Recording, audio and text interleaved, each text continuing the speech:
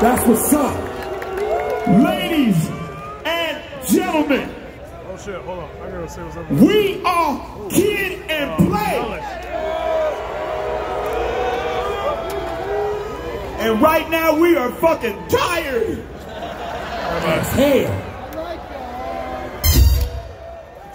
God damn. Not it. I'm about to have a heart attack fucking with y'all. Shit. But we're glad that, you know, that they gonna say, you know, Kid and Play died at the Juggalo concert. But it's great to be here, y'all. This is our first time. And I'm loving it. We loving it. This is this is actually my very first time an appearance performing in over a year since COVID. I can tell. So thank you very much for bringing us to your house party. Salute.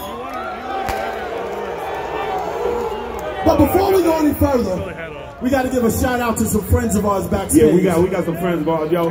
You look, especially in the time of COVID, we had to lean on our sponsors. Kid